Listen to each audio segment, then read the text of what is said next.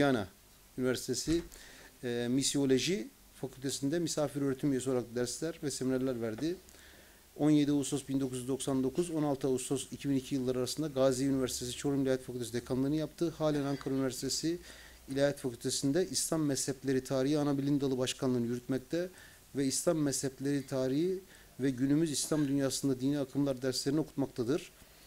Emeviler devri Şii hareketleri, e, 20. asırda Şiilik ve İran devrimi, Türkiye'de din anlayışı, değişim süreci gibi basılmış eserleri ve İslam mezhepleri, Şiilik, Alevilik, din anlayışı, küreselleşme gibi konularında çok sayıda makaleleri vardır.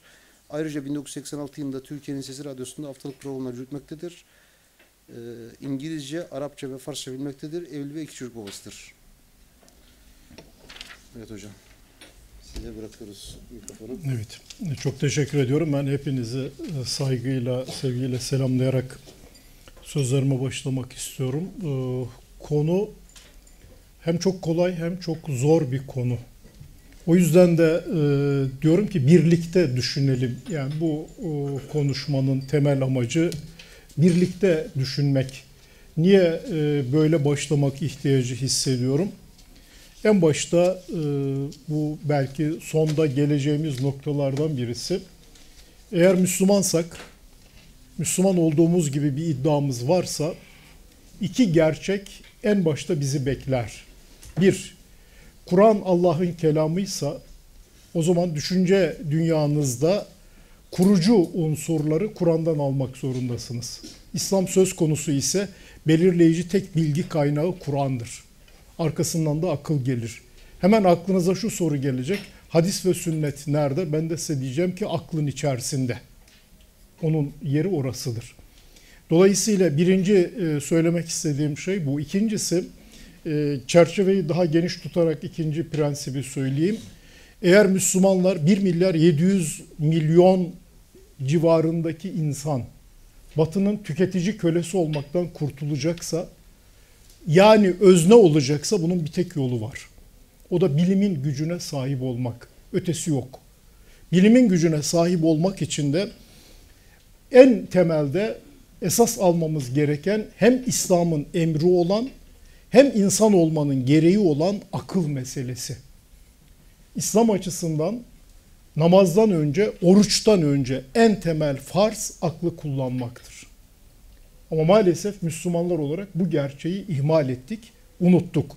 Yani son iki asırdır niçin perişan haldeyiz diyorsanız e, cevabını Kur'an'dan bulabilirsiniz. Yeryüzündeki canlıların en kötüsü akletmeyenlerdir.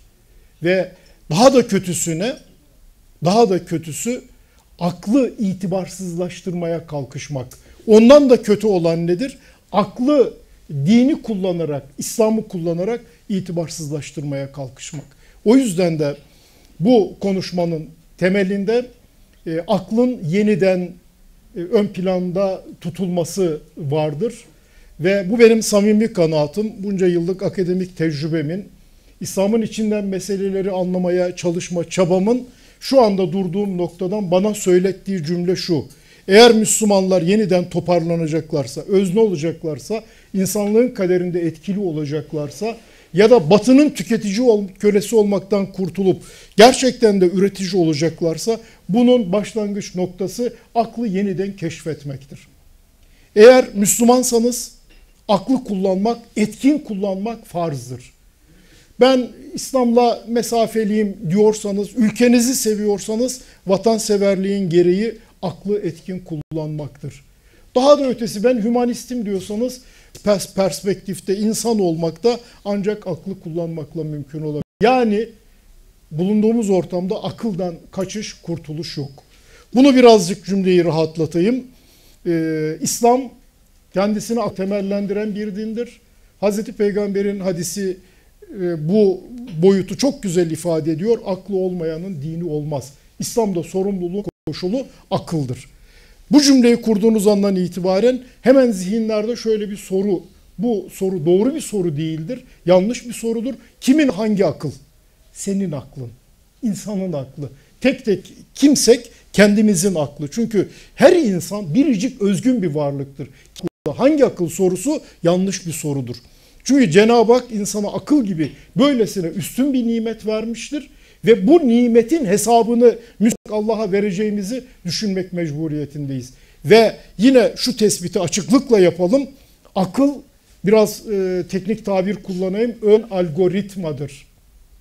Karşılığı anlamı şu. Yani Cenab-ı Hakk'ın size verdiği bu akıl öyle bir e, nimet ki kullandığınız zaman gücü de artar, imkanı da artar, ufkunuzu genişletir, sizin önünüzü açar ve sizin insan olmanıza katkı sağlar. Ama öyle bir nimet ki kullanmadığınız sürece gerilemeye başlar ve gittikçe işlevini kaybeder ve e, bir anlamda Kur'an dilinde kalbin mühürlenmesi denilen sürece kayarsınız. Evet kalbin mühürlenmesi aslında aklın itibarsızlaştırılmasıdır. Aklın devre dışı bırakılmasıdır. Ve bu çerçevede niye 1 milyar 700 milyon Müslüman batının tüketici kölesi işte cevabı budur yani. Aklını kullanmayanlar pislik içinde kalır. Kim olursanız olun hiç fark etmiyor. Ama aklını kullanan dinsiz bile olsa gerçekten de farklı bir çizgide kendisine yer bulabilir. Kaldı ki e, Kur'an'ın e, genel üslubu çerçevesinde bakarsanız aklını kullanan asla e, dinsiz, agnostik falan olmaz. Aklı kullanmanın en alt basamaklarına takılıp kalanlar ancak o süreçlere kayabilirler. Çünkü Kur'an gerçekten akla güvenmektedir. Eğer akla güven olmasaydı yani 300'e yakın yerde doğrudan efela yanzurun, tagülün, tefekkerun gibi insanı düşünmeye, akletmeye teşvik etmezdim. Akla güven olmasaydı doğrudan bu bağlamda mesela e, şeylere bakın. Kur'an'ı anlamak akıl işi bunu Kur'an söylüyor. Kur'an anlaşılmak için geldi. Ama burada şöyle bir ince nokta var. Onu sizinle paylaşmak isterim.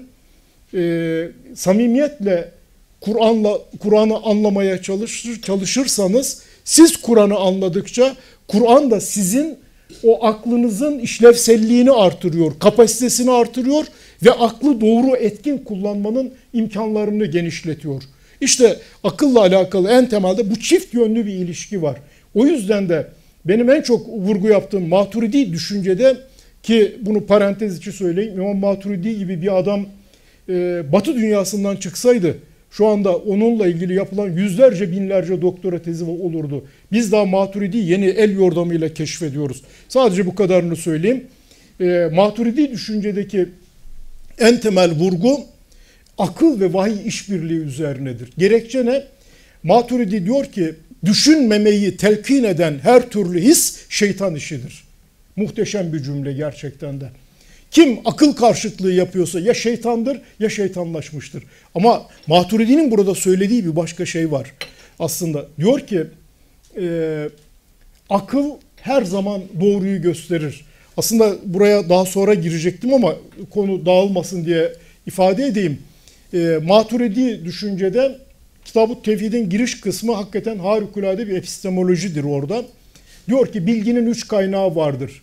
Bir, Iyan diyor ona, beş duyu bilgisi. İki, ahbar, haberler, vahyi bilgi, hadisler, sünnet, alimlerin görüşü her şey o ahbar kategorisindedir. Üç, istitlal, akıl. Evet akıl bir bilgi kaynağıdır. Sonunda diyor ki Maturidi, her üç kaynaktan gelen bilginin de doğru olup olmadığını akıl belirler. Mesela Elmalı'nın çok enteresan bir şeyi dikkatimi çekmiştim. Diyor ki e, ahireti gaybı ancak akılla bilebilirsiniz. Çok enteresan Elmalı'nın bu yaklaşımı aslında. Yani bizim hep e, olaya farklı açılardan bakmaya alışmışız. Böyle bir yapı var. İşte burada aklın akıl insana her zaman doğruyu gösterir. Ancak aklın yaptırım gücü yoktur. Ne demek bu? Bir şeyin doğru olduğunu bilmek, doğru olanı tercih etmek, doğruyu gerçekleştirmek anlamına gelmiyor. O zaman desteğe ihtiyaç var. İşte en büyük destek vahiydir ve Cenab-ı Hak akla destek olsun diye vahiy göndermiştir. O yüzden dedim ki Kur'an e, gerçekten anlarsanız Kur'an da sizin aklınızı terbiye eder. Aklın yaptırım gücünün olmayışından kaynaklanan boşluk vahiy ile işbirliği içerisinde daha bir üst seviyeye çıkar, daha sağlıklı yürür. Peki o zaman şimdi geçebiliriz meseleye. Eleştirel düşünce ne demek? En başta yine buradaki bir yanlışı düzeltelim. Eleştiri açık aramak değil, eleştiri imkan aramaktır. eleştiri imkan aramaktır. Biz hep eleştiri denildiği zaman açık arıyoruz. Kur'an'ın istediği düşünme biçimi dikkat ederseniz Kur'an akıldan söz etmez. Akletmekten söz eder. Akletme ile ilgili ayetleri şöyle bir bu e, konferans için hazırlanırken tekrar bir e, zihnimi bir yenileyeyim diye gözden geçirdim. 8-10 tane ana başlık. Bir, Kur'an'ı anlamak için akletmek. İşte orada çift yönlü süreç işliyor. Kur'an aynı zamanda sizin aklınızı inşa ediyor. Başka, evreni, var olan olay ve olguları anlamak için akletmek. İşte efela yanzurune ilel ibil keyfe hulgat. İşte deve nasıl yaratıldı bakmaz mısınız? Ya da efela yanzurune ile sema keyfe rufiat. İşte gökyüzüyle alakalı nasıl yükseltildi. Daha ötesi mesela çok ilginç Kur'an e, yaratılışın başlangıcını görmenizi istiyor. İlk yaratma nasıl başladı bunu görün diyor. Yani bu çerçeve içerisinde Allah'a şükretmek istiyorsanız o zaman düşüneceksiniz, akledeceksiniz diyor. Başka 5-6 kalem var böyle.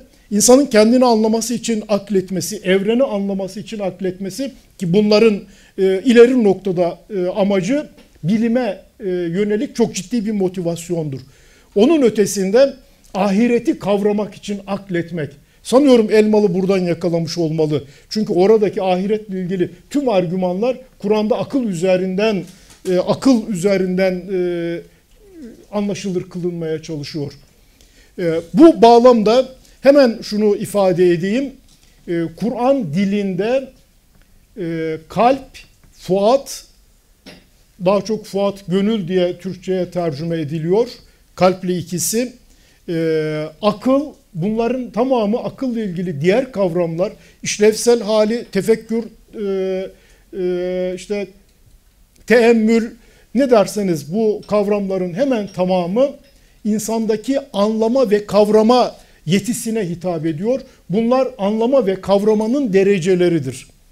Ne demek bu? Tek düzey bir anlama yoktur, tek düzey bir akletme yoktur. Bununla alakalı şimdi sizi bir noktaya taşıyacağım. Şu söylediklerim. Dedim ki Kur'an'daki akletme sıradan insanın e, rastgele düşünmesinin bir basamak yukarısını işaret ediyor. Ne demek sıradan insanın e, düşünmesi? Normal koşullarda düşünmek için çaba harcamayan, e, kendisini geliştirmek için çaba harcamayan, ya biyolojik olarak varlığın bir basamak üstünde akıl yürütme, yani sorumluluğu e, gerektiren o en e, alt işlenmemiş düzey, doğruyu yanlışı ayıran düzeydir. Kur'an diyor ki Müslümansanız bunun bir basamak üstünde olmak zorundasınız. Onun için dedim Kur'an'ın öngördüğü akletme eleştirel duruşu basamak olarak alıyor. Bunu birazcık açayım e, ne kastettiğim ne kastettiğimi.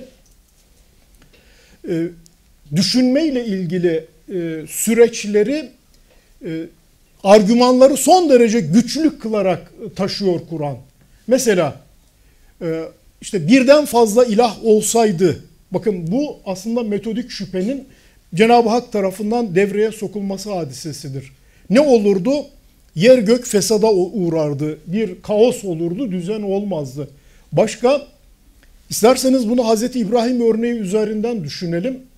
Ee, hem de bu vesileyle eleştirel düşünceyle iman bağlantısını da kurmuş olalım. Ee, Hazreti İbrahim eline baltayı alır, girer puthaneye, bütün putları devirir, büyük putu sağlam bırakır, baltayı da onun omzuna asar. Hazreti İbrahim niye e, büyük putu kırmadı ki? Sebebi ne? Şimdi bakın eleştirel düşünce derken biz düşündüklerimizin e, bir amaca yönelik olmasını esas alıyoruz. Hazreti İbrahim'in burada bir amacı var. İki, eleştirel düşünce dediğimizde bizi geliştiren düşünceyi esas alıyoruz.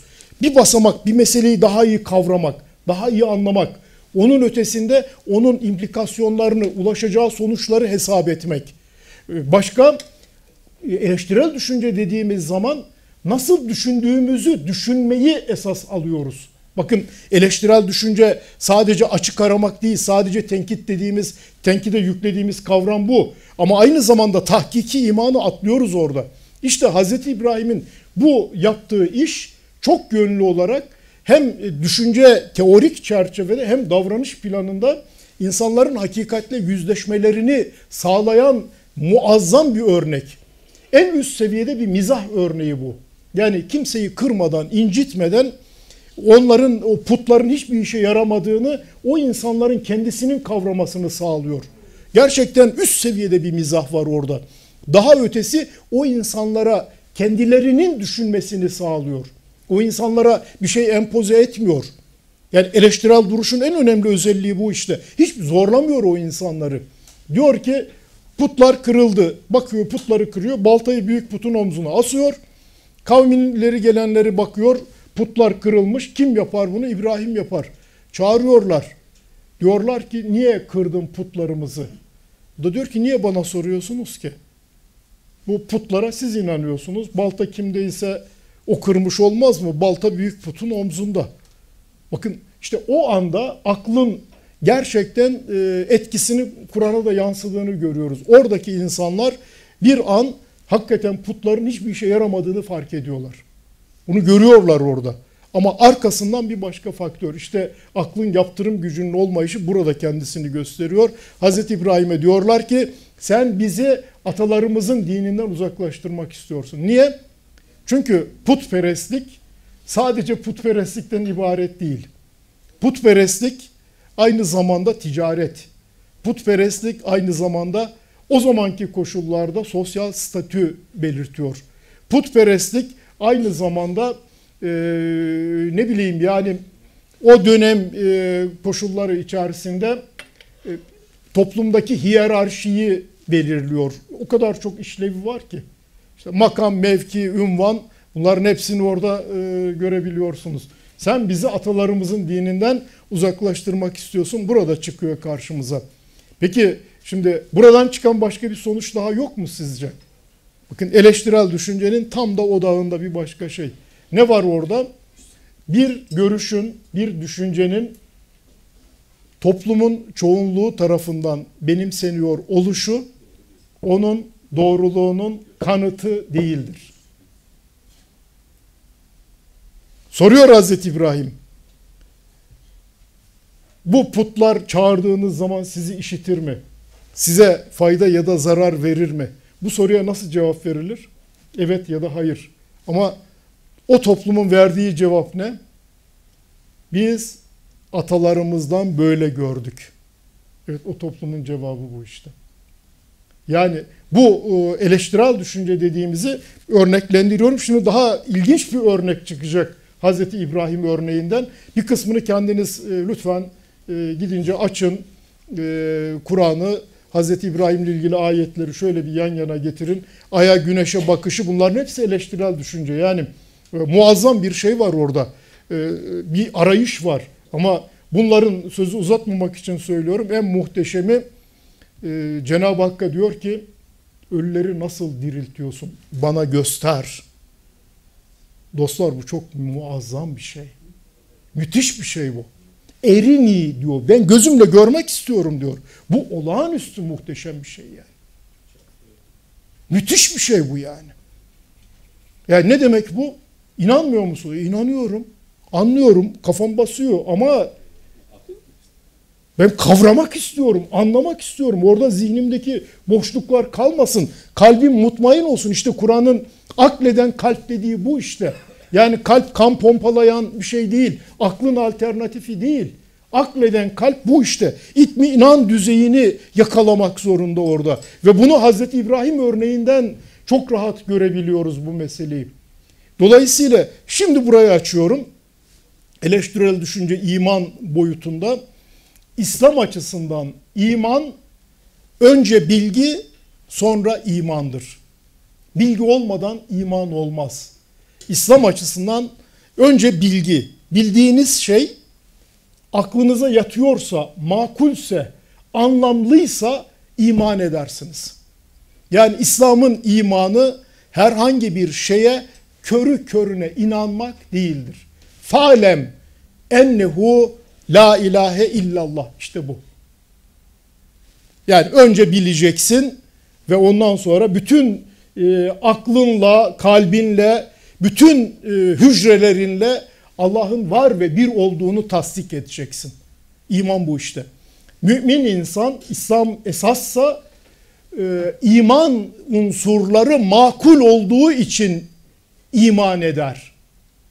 Yani iman ettiğimiz için doğru değildir. İman ettiğimiz için hak değildir, hakikat değildir. Hak olduğu için, hakikat olduğu için, makul olduğu için, anlamlı olduğu için iman ederiz. Bir mukayese için parantez açayım mı? Hristiyansanız inandığınız için doğrudur, inandığınız için anlamlıdır, inandığınız için makuldür. Tercih sizin. Yaygın din anlayışımız hangisine uygun? Ben de Hazreti İbrahim gibi onun sünnetine uyarak burada susmayı tercih ediyorum. Çünkü bunun için konuşmamın başında dedim ki eğer Müslümanlar imanlarının sömürülmesinin önüne geçeceklerse, özne olacaklarsa işte başlangıç noktası akıl. Hangi akıl? Kur'an'ın akletmek dediği akıl. Eğer hangi akıl sorusunu soracaksa işte burada soralım. Hangi akıl sorusu burada çıkıyor karşımıza. Bu akıl insanı daima hakikate götüren akıldır. Yaptırım gücü yoktur. Vahiy onun yaptırım gücünü destekler. Ve bu akıl Kur'an'ın ifadesiyle Hazreti Peygamber'i örnek alan akıldır. Usve-i hasene budur işte. Biz burada da bir yanlışın içindeyiz. Hadis ve sünnet dedik takıldık oraya. Hazreti Peygamber'in örnekliğini unuttuk. Ve esasında hadis ve sünnetin içerisinden o örnekliği keşfetmek zorundayız. Eleştirel akıl bunu gerektirir. Biz bunu maalesef üzgünüm unuttuk. Çünkü sünnete uymayı peygamberi taklit etmek olarak anladık ve yorumladık. Bu çok ciddi bir problem olarak karşımızda duruyor. İmanla alakalı burada e, eleştirel akılla ilgili birkaç şey daha toplayayım. Zamanı iyi kullanmak açısından ben de hızlı e, akışı hızlı götüreyim. Eleştirel akıl ne yapar? En temelde şimdi şu söylediklerimizden sonra daha rahat bunu söyleyebileceğiz. İnsanın doğruyu, hakikati bulmasını kolaylaştırır. Yani bu e, çerçevede eleştirel yaklaşım, eleştirel düşünce bizi oraya götürür. Burayı e, biraz sonra e, niçin güvenilir bilgi kısmıyla irtibatlandıracağım. En basiti şöyle düşünelim. Şu anda dini bilgiler dediğimiz alana bir bakalım muazzam bir bilgi havuzu oluştu. Bu bilgi havuzunun içinde ne var? Din alanındaki bilgiler gerçekten büyük bir havuz oluşturdu. O havuza pek çok yerden derede geliyor, kanalizasyonda katılıyor, e, temiz sular da var, kaynak sular da var, pis sular da var. Ne yapacaksınız? Bu, bu havuzu ne yapacaksınız? Yok farz edemezsiniz, var ve oradan besleniyoruz. Buradan beslenebilmeniz için hastalıklara karşı e, birazcık daha temkinli olabilmeniz için yapabileceğiniz tek şey var. İşte eleştirel düşünce dediğimiz şey işte. Bu yani e, başkası yok yani. Ne yapacaksınız burada? Bu kadar bu havuzun içinde bakın ne var? Hurafeler, batıl inançlar var. Bu havuzun içinde vahyi bilgi var. Bu havuzun içinde hadis ve sünnet var. Maturidi'nin ahbar dediği bu işte aslında. Bu havuz.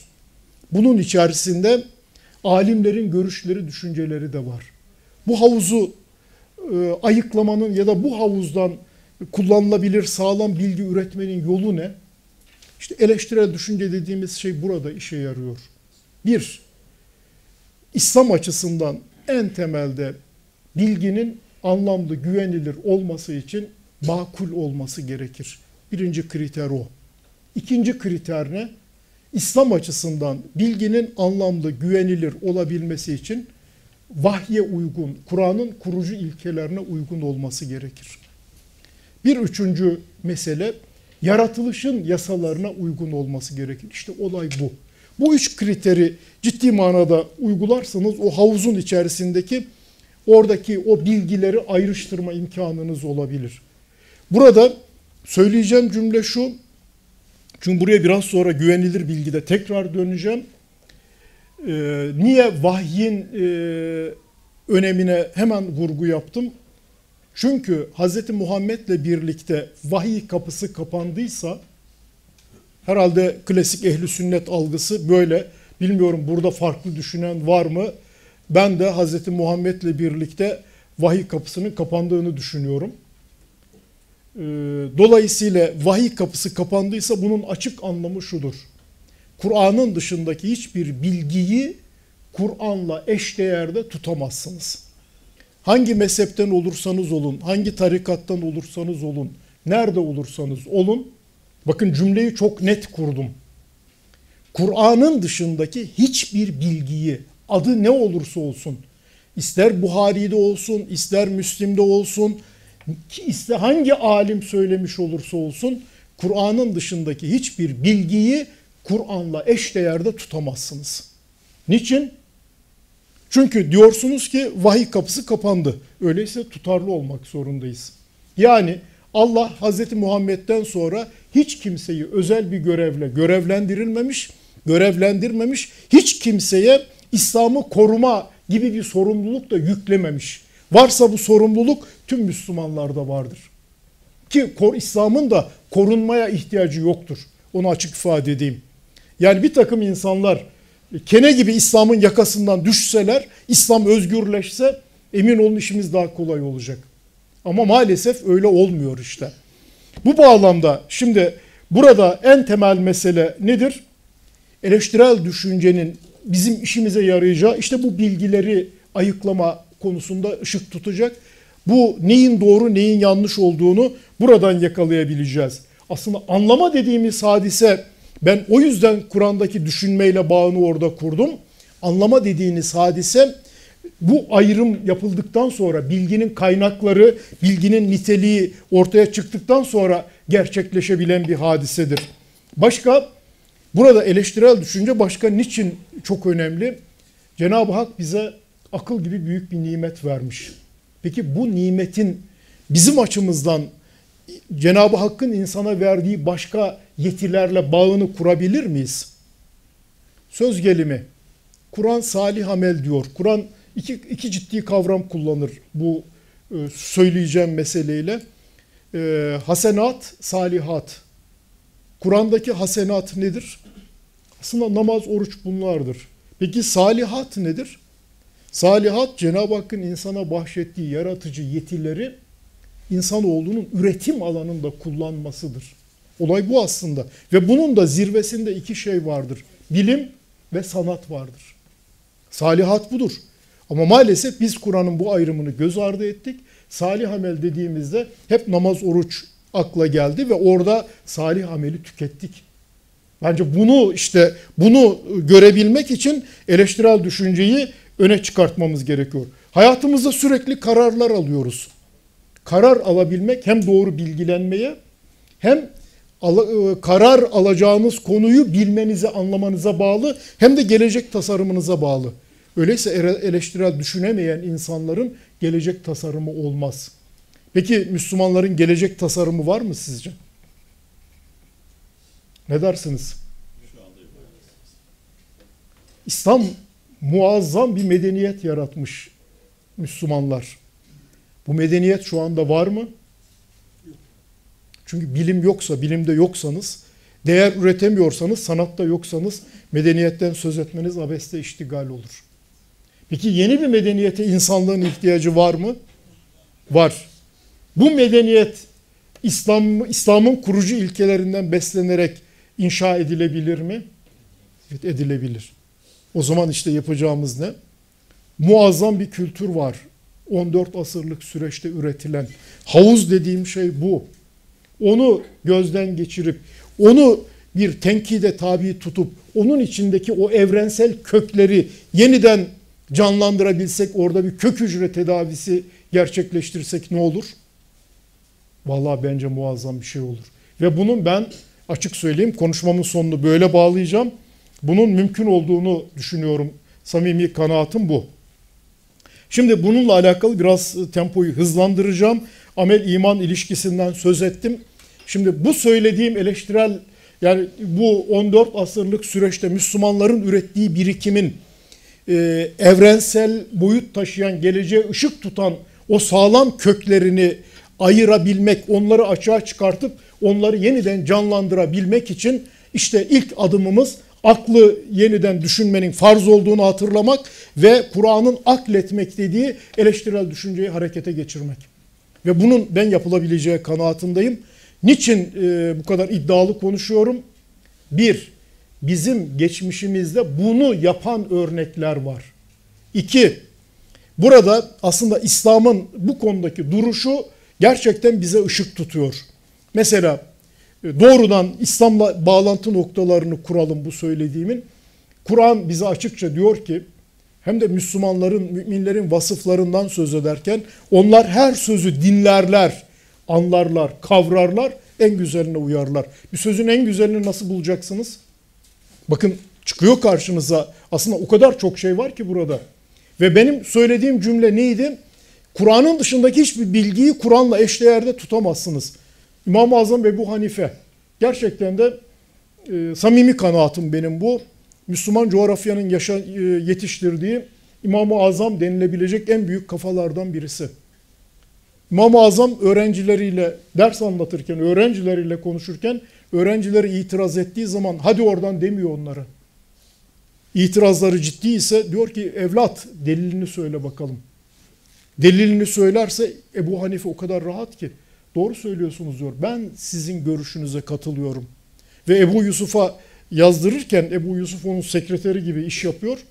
Ee, öğrencilerinin e, muhalefet şerhi koyduğu fetvaları da yazdırıyor. Yani oldukça enteresan. Bizim fıkıh kitaplarındaki muhalefetü imamiyen bahsi bu işte. Diğer taraftan İmam Eşari Bağdat'ta yaşıyor sonra geçiyor Mısır'a gidiyor. Geriye dönüyor diyor ki benim daha önceki verdiğim fetvalarla amel etmeyin. Ya bunu söyleyen Eşari. Düzeltiyorum. Şafi, İmam Şafi. Düzeltiyorum. Çünkü Eşari 40 40'ından sonra Mutezile'den küllabi çizgiye kaydı. Ee, o da e, yine zihnimdeki örnekler ama onunki daha büyük. Eşari Mutezili çizgiden e, küllabi çizgiye kaydı. Uzun süre Hanbeli çizgide kendine yer aradı. Hanbeliler yüz vermediler e, Eşari'ye. Kabul etmediler. Daha sonra küllabilik içinde ehlül hadis çizgisinde bir yer buldu Eşari. Ama İmam Şafii'nin söylediği daha e, yani her birisinin bunlar yaşanan tecrübeler. İmam Şafii diyor ki Mısır'a gittikten sonra benim daha önce e, söylediklerime itibar etmeyin. Sadece bu örneklerden çıkan sonuç ne? Bizim mezhep imamı dediğimiz o büyük isimler hayatlarında görüş değiştirmişler. Bunun açık anlamı nedir? Hiçbirisi söylediklerinin e, Kur'an gibi tartışılmaz olduğu iddiasında değiller. Hiçbirisi kendilerine vahiy geldiği iddiasında değil. Peki biz bugün bu büyük zatların bu konudaki düşüncelerine, görüşlerine nasıl bakıyoruz? İştihat kapısı kapalı efendim. Kim kapattı o kapıyı? Cehalet başka bir şey değil kusura bakmayın. Çünkü o kapının açık e, ya da kapalı kimse açmadı ki o kapıyı o kapı kapatılsın. Müslümansanız o kapı açıktır zaten. Kimsenin onu kapatma diye bir derdi olamaz. Bunu niye söyledim? Şu anda işte eleştirel düşünce dediğimiz e, alana alan e, eleştirel düşünceye en çok ihtiyaç duyulan alan burası. Gerekçesi ne? Gerekçesi biz geleneği dinleştirdik.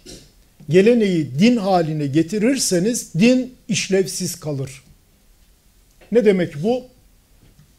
Kur'an size diyor ki inne, inne salate tenha anil fahşai vel munker. Namaz insanı her türlü kötülükten alakoyar. Ama namazı gelenekle bütünleştirir, alışkanlık haline dönüştürürseniz namaz sizin daha iyi insan olmanıza katkı sağlamaz. Ne yaparsınız? Yani e, bu diyor vatandaş bana bir hacca patlar. E, iyi, hayırlı olsun. Hayırlı olsun. Kilometreyi sıfırlamak. Aslında ta kendisi. Ta kendisi. Ama işte bakın e, yani cehalet nasıl savuruyor bizi? Cehalet nasıl savuruyor? Dolayısıyla burada şu anda e, bizim işte bu o, muazzam birikimi bir şekilde mutlaka tenkit süzgecinden geçirmemiz gerekiyor. Bu gelenek karşıtlığı değildir. Bu söylediklerim maalesef artık e, yani e, eskiden daha cesur konuşurdum. E, çok cesaretli konuşamadığımı söyleyeyim. Yani e, şu anda bile e, düşünerek konuşuyorum. Yani daha dikkatli konuşmaya çalışıyorum. Çünkü e, birileri hazır bekliyor. Bir açık bul, bir açık bulsak da yüklensek diye. Bu söylediklerimden hadis ve sünnet düşmanlığı asla devşirilemez. Bu söylediklerimden çıkan zaten şeylerinde nasıl düşündüğümü de söylüyorum. Çünkü eleştirel düşüncenin özelliği nasıl düşündüğünüzü düşünmektir. Nasıl düşündüğünüzü düşünmeye başlamadan eleştirel düşünce olmuyor. Bu bağlamda şimdi e, gelenek üzgünüm şu anda e, dinin yerini almış durumda. Aslında Hazreti İbrahim eleştirisi de biraz bize uyarıyor orada. Kur'an pek çok yerde ataların dini adı altında ciddi uyarı yapıyor. Ama bizim Müslüman diyor ki oradaki ataların dini müşrikleri ilgilendiriyor, bizi ilgilendirmiyor. Ya diyoruz ki Cenab-ı Hak Kur'an'ı bize gönderdi. Oradaki müşriklerle ilgili örnekler bize diyor ki müşrik olmayın, müşrikleşmeyin, müşrik zihniyetine sahip olmayın. Ama çarpıtıyoruz Kur'an'ı bile.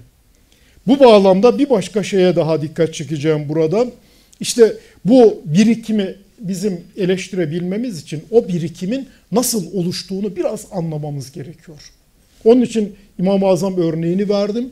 Onun için İmam Şafii'den söz ettim. Allah rahmet eylesin. Bunlar hatalarıyla, sevabıyla yapacakları işi yapmışlardır. Problem onlardan kaynaklanmıyor. Problem onları anlamaktan aciz olanların onların görüşlerini din haline getirmesinden kaynaklanıyor. Eski ulema ne güzel bir tabir bulmuş. Fıkıh, anlayış demek, kavrayış demek. Ve bu harika tabiri biz maalesef bugün e, fıkı dinleştirerek o güzelliğini yok ettik. Fıkıhla alakalı en küçük bir eleştiriyi işte efendim İslam düşmanlığı kategorisine taşıyabiliyoruz. Bizden önceki alimler İmam Buhari mesela Allah rahmet eylesin Hazreti Peygamber'in sözlerini toplamış. Buhari'nin kendi ifadesi işte yüz binlerce hadis içerisinden seçmiş. Bana göre diyor bunlar doğru. Buhari'nin kitabını almadıklarının hepsi yanlış mı? Diyebilir misiniz? Hayır. Peki Buhari'nin kitabını aldığı her şey doğru mudur? Bunu söyleyebilir misiniz? Hayır. Ne demek bu? Buradaki bakın eleştirel çerçevede yani insanların kafasını niye karıştırıyor diye ben epey bir kafa yordum buraya. Burayı bir netleştireyim. Ben biraz beyinle alakalı çok okuma yap, yaptım. Kendi beynimin nasıl işlediğini önce bir çözeyim diye. Baktım Cenab-ı Hakk'ın hakikaten yarattığı en muhteşem e, nimet, muazzam bir şey böyle. Onun için öğrenen algoritma tabirini de bu yapay zekacılardan esinlenerek e, kullandım orada. Şimdi bu e, ben şu anda konuşuyorum. Benim söylediklerimi nasıl anlıyorsunuz? Dil dediğimiz bir şey var. Bu dil insan ürünüdür. İnsanoğlunun yetenekleri dil diye bir kavram üretmiştir. Bu söylediğimin açık kanıtı nedir? İngilizce vardır, Arapça vardır, Türkçe vardır, Farsça vardır. Dünyada 3000 e, kadar dil var. Hele içinden geçtiğimiz süreçlerde bu dillerin çoğu kullanılmadığı için artık esprisini kaybediyor. Peki o zaman bu dil nedir? İnsan ürünüdür. İnsan ürünü. İnsan bu dil üzerinden iletişim kurar. İletişim nasıl sağlanır? Söz bir enerjidir aslında. Ben düşündüklerimi sizin de bildiğinizi düşündüğüm sembollere dönüştürüyorum. Sembollerin zihninizde dekoder işlevi gören e, karşılıkları var. Benim söylediklerimi zihniniz çeviriyor. Bakın şimdi bu sürece lütfen dikkat edin. Ne oluyor orada?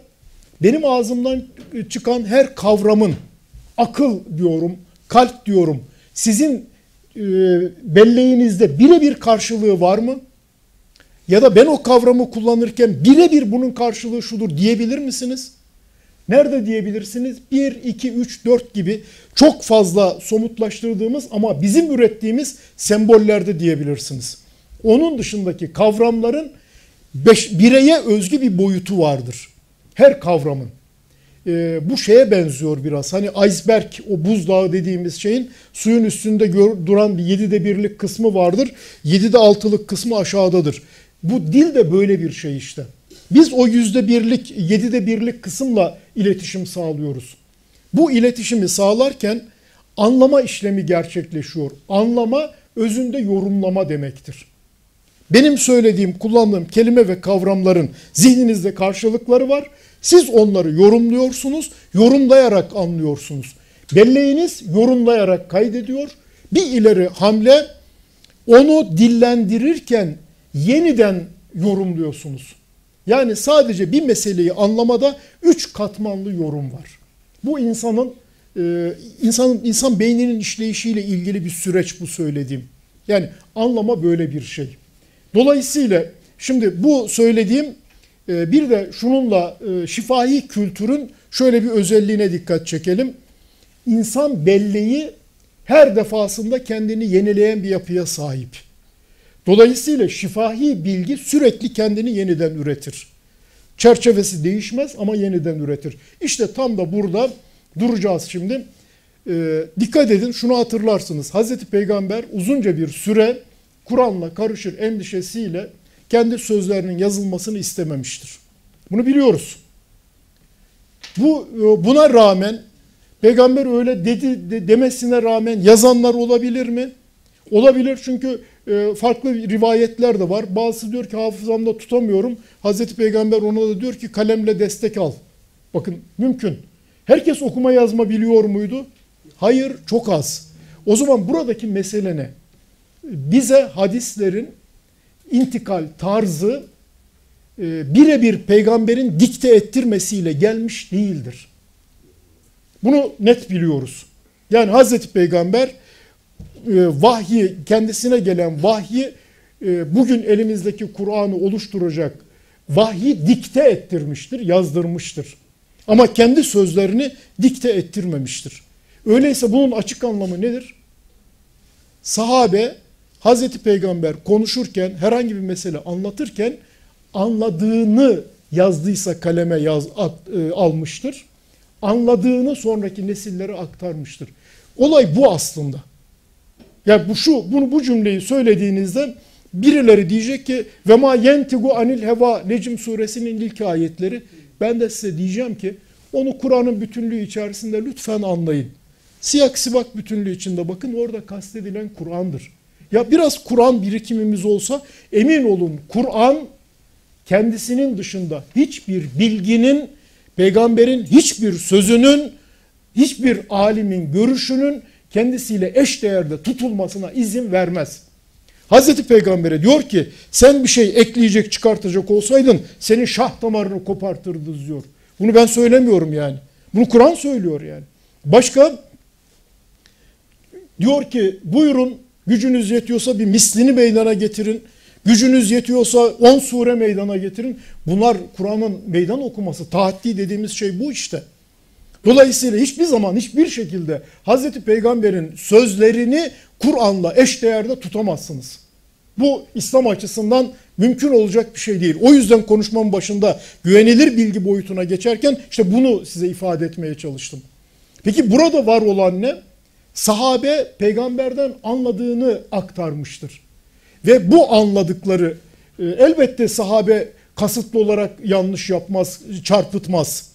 Ama yanlış anlayabilir mi? Bununla alakalı da size çok somut bir örnek vereceğim. En veda haccı pek çok kalabalık bir grubun olduğu bir e, haç ve orada Hazreti Peygamber'den gelen bir rivayet. Şimdi hatırlayacaksınız. Üç versiyonunu söyleyeceğim sadece size. Önce Şii versiyondan başlayayım. Peygamber dedi ki size iki ağır emanet bırakıyorum. Sakaleyn. Kitabullah ve ıtret. Ehli beyt.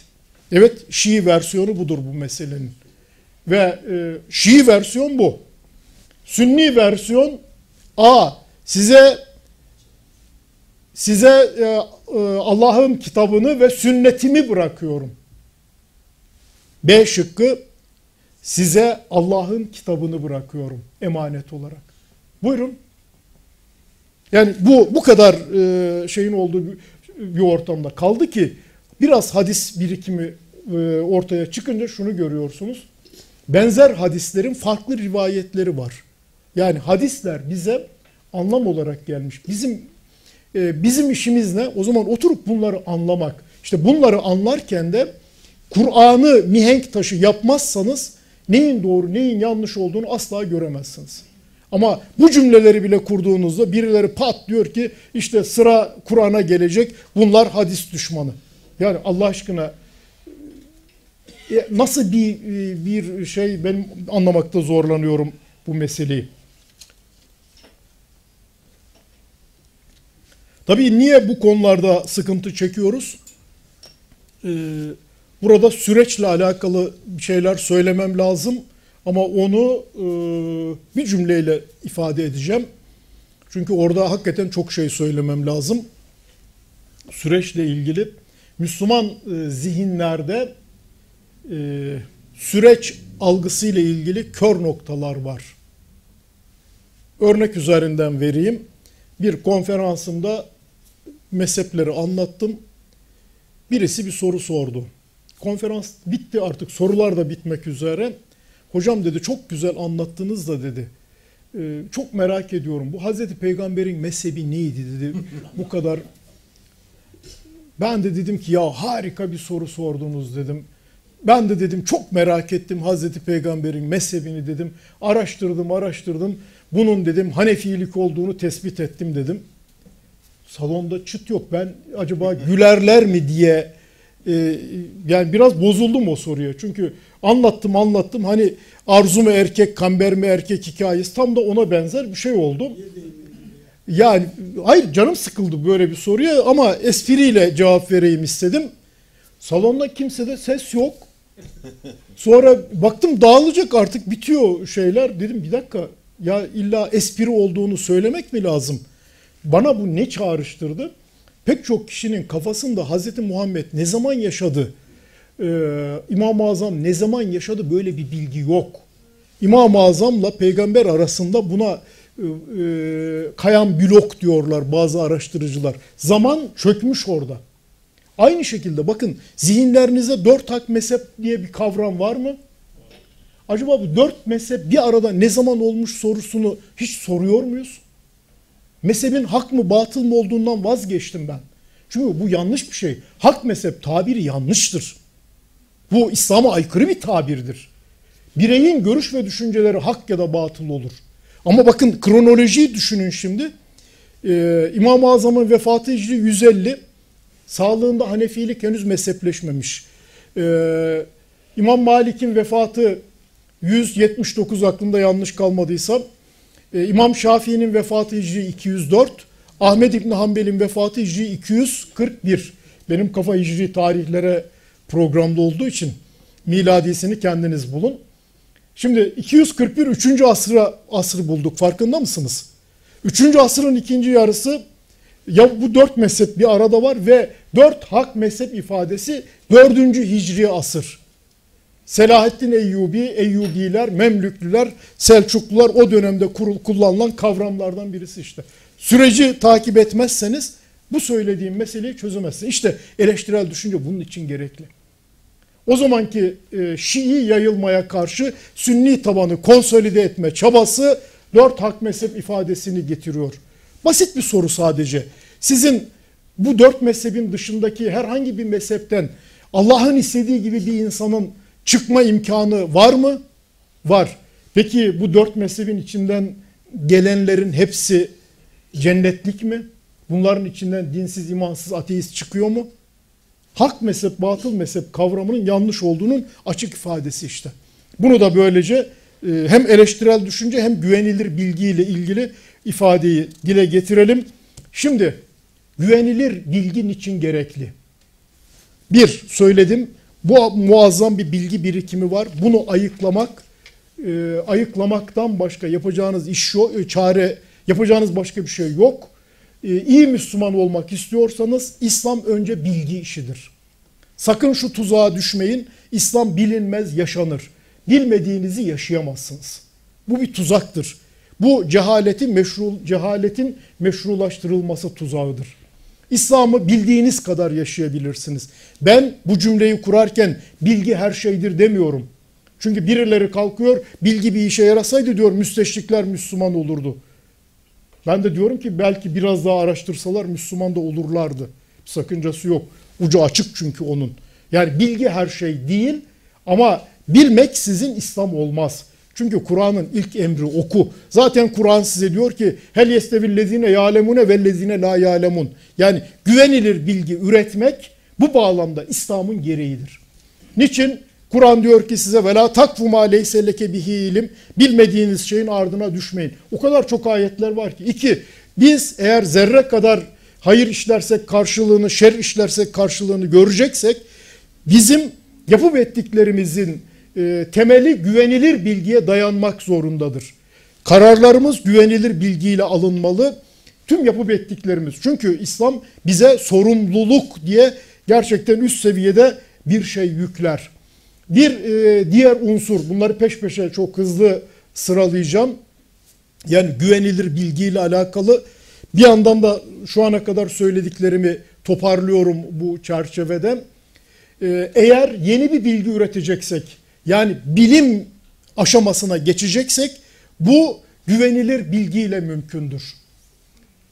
Geçmişteki bilgiler üç kategoride yer alır. İmam-ı Azam üzerinden vereyim örneği de. İmam-ı Azam'ın söylediklerinin evrensel boyut taşıyanları o zaman da doğrudur, bugün de doğrudur. Bazı görüşlerinden kendisi sağlığında vazgeçmiştir. Çünkü yanlış olduğunu fark etmiştir. Bu İmam Şafii örneği de bunu söyler size. Büyük alimlerde vardır bu. Yani o zaman da doğru, bugün de doğrudur bazı görüşleri. Bazı görüşleri o zaman da yanlıştır, bugün de yanlıştır. Bazı görüşleri de vardır ki o zaman doğrudur ama bugün yanlıştır. İşte bu üç kategori her yere uygulanabilecek bir kategoridir. Bir alim ne kadar büyük olursa olsun içinde yetiştiği çağın ürünüdür. Allah razı olsun emek vermiş, anlamaya çalışmış. Ben onun anladık e, onun anlayış tarzını nasıl anladığını anlarım. Ama e, onun anladığını tartışılmaz. Gördüğünüz andan itibaren hem ona saygısızlık etmiş olursunuz hem burada güvenilir bilginin kapılarını kapatmış olursunuz. Başka bilginin üretim süreçleri, süreç algısı dedim. Şimdi burada hemen bunu ifade edeyim. Ee, bilginin üretim süreçleri e, Müslüman gelenekte o bilgiye açık olma, İslam öncesi bilgiye e, yani tüm aslında Müslüman e, zihin öğrenmeye ve bilgiye açık olmak zorundadır. Kur'an geldiği zaman cahiliye haç üzerinden o örneğimi vereyim. İslam'dan önce haç var mıydı? Vardı. Peki ne oldu? Ne yapıldı haçla alakalı, haç ibadetiyle ilgili o süreç? Özgün haline dönüştürüldü. Putlar, putperest unsurlar aradan kaldırıldı. Yeni e, bir takım unsurlarla muhteşem bir ibadet çıktı karşımıza. Haç, Müslümanların yeniden keşfetmeleri gereken olağanüstü bir değişim ve dönüşüm projesidir. Muhteşem bir proje. Yani haç ibadeti. Ee, ve dikkat edin haçla birlikte birkaç şey gerçekleşir. Bir, e, Hazreti İbrahim'e uzanan bir tarih bilinci çıkar. Siz onu Hazreti Adem'e bile taşıyabilirsiniz. İki, Hazreti Peygamber'in yaşadığı zaman dilimine gidersiniz. İslam'ı Hazreti Peygamber'in insanlığa sunduğu sadeliğiyle, güzelliğiyle anlamaya çalışırsınız. İşte hadis ve sünneti anlamak ancak tarih bilinciyle bu süreçleri doğru okumakla gerçekleşebilecek bir hadisedir. Üç, orada İslam'ın evrenselliğini yakalarsınız üst seviyede. Bakın İslam öncesi cahiliye döneminde gelen doğrulara yanlış demedik. Doğrular olduğu gibi kabul ettik. Düzeltilecekleri ne yaptık? Düzelttik. Islah edilebilecekleri ıslah ettik. Atılacakları attık ve ona yeni bir form kattık. Ve ne oldu? İslam'ın en temel ibadetlerinden biri oldu. Biz bunu tüm hayatımıza taşıyabilir miyiz? İşte bakın güvenilir bilgi dediğimiz şey bu süreçleri doğru okuyarak ortaya çıkıyor. Güvenilir bilginin en başta söylediğim bir kaynakları belli bilgidir. Yani bir bilgi nerededir? O kaynaklarını bileceksiniz. İki, üretim süreçleri bellidir güvenilir bilginin. Nasıl üretildi, nasıl değişerek dönüşerek geldi. Üç, o güvenilir bilginin kullanım aşamaları aslında bilimde teknoloji dediğimiz şey bu, bu kısımdır. Yani e, o bilginin faydası, zararı, fonksiyonelliği bunlar ortaya çıkar. Ve güvenilir bilgi gerçekten üretilebilir. Ben bunu şeye benzetiyorum. Arının bal yapmasına. Burada da dikkat çekeceğim nokta e, doğrudan şeyle ilgili. Malumatla bilim arasındaki farkı görmekle ilgili. Şu söylediklerim o havuz dediğim şey malumat. O havuzdaki bilgilerin güvenilir olanları, o kökü sağlam olanları çıkartırsınız. Onlar üzerinden günün koşulları çerçevesinde yeni bilgi üretirsiniz. Ve bu bilgi güvenilir bilgi olursa bilimsel bilgi olur. Bunu netleştirelim. Batı medeniyetiyle alakalı. Batı medeniyetinin kökünde Müslümanların bilimsel birikimi vardır. Mesela Türkiye'de hala gündeme hiç gelmedi. Bir Biruni dediğimiz o büyük kafa. Evet hiç konuşulmadı. Bugünkü Batı biliminin eğer üzerine oturduğunu arayacaksanız en mühim isimlerden birisi Biruni'dir. Birazcık İbni Haldun çıktı, biraz konuşuluyor ama yani, e, mukayese etmek istemem ama e, ya Biruni İbni Haldun kalır bir kafa değil. Batı dünyası felsefe denildiğinde Aristo'dan sonra muallimi sani Farabi'yi biz hala ilahiyat fakültelerinde felsefe olsun mu olmasını konuşuyoruz. Yani içinde içinden geçtiğimiz süreçler bu bağlamda can sıkıcı. Şimdi e, burada sözü biraz toparlıyorum. Diyor ki en başta söylemiştim. Medeniyet meselesi. Medeniyet bir e, ile kurulur. Nasıl bilgiyle? Güvenilir bilgiyle. Eleştirel düşünceyle kendi kültür köklerimizdeki o yeni medeniyete vücut verecek hücreleri açığa çıkartıp bu e, onları e, yeniden canlandırmamız gerekiyor. İkincisi gerçekten muazzam birikim var. Müslüman e, medeniyeti şu anda çoğu arşivlerde kendi geçmişimizi bilmiyoruz. Şu cümleyi doğru anlayacağınızı düşünüyorum. Müslümanların geleneği kutsallaştırma sebebi büyük ölçüde denize dış, yılana sarılır gibi korkudan bu e, küreselleşmenin, savrulmanın e, getirdiği o bilinçaltı korkudan kaynaklanan bir şey. Yani şu anda e, geleneği en çok kutsayanlar, bilin ki gelenekle bağı en çok kopmuş olanlar. Aksi takdirde geleneği kutsayamazsınız. Gelenek kendini inşa eder. Ama Müslüman gelenek kendini inşa edemediği için bir takım insanlar geleneği kutsayarak kendilerini korumaya alıyorlar. E, geleneği değil. Geleneğin kutsallaştırılması gelenekle bağın kopmasıyla alakalıdır. Ve eğer siz maziniz ne kadar şanlı olursa olsun geçmişinizi doğru anlayamazsanız geçmişin ağırlığı altında ezilmek zorunda kalırsınız. Bizim geleneği kutsallaştırmamız geleneğin ağırlığı altında ezilmekten başka bir şey değil.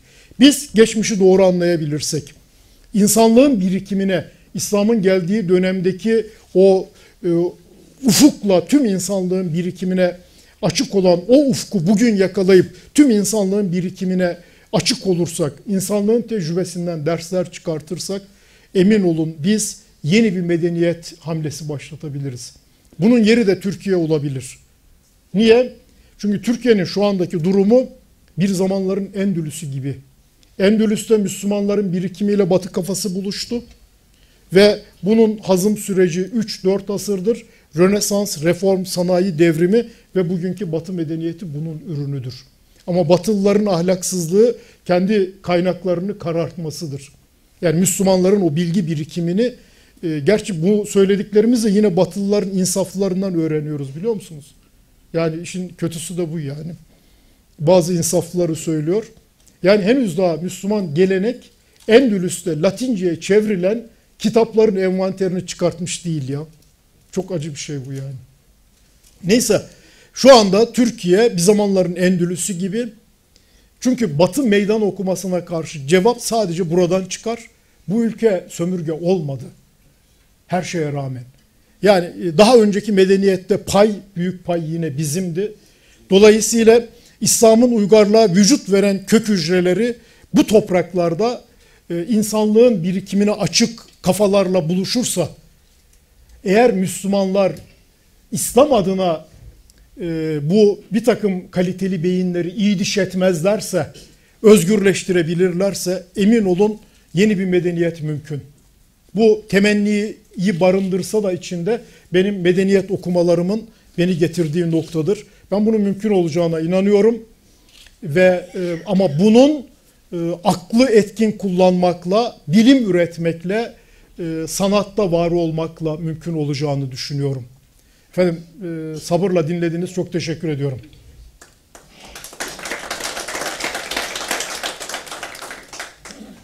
Biz teşekkür ederiz hocam.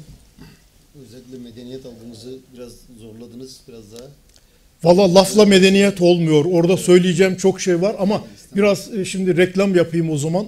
Benim web sayfamda bunu e, Bahri Bey'e de söylemiştim. O size duyurdu zannediyorum. E, yeni bir medeniyet bağlamında maturidi ve maturidilik diye emek verdiğim bir yazı var. epeyce uzun bir yazı hocam. Zor bitirdi yani bugün. Aa mutlu oldum ama okudunuz. E, olsun. ama iddialı bir yazı o.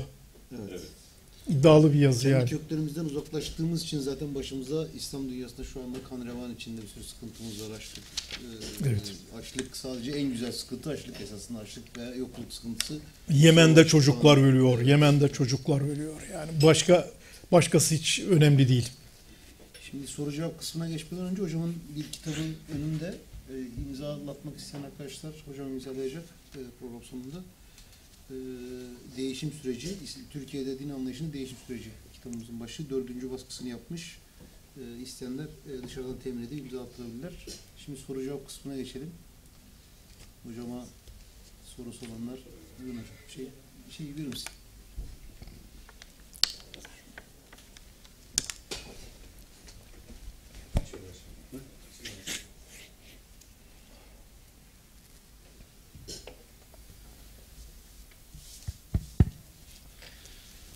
Hocam teşekkür ederiz bu değerli düşünceleriniz için.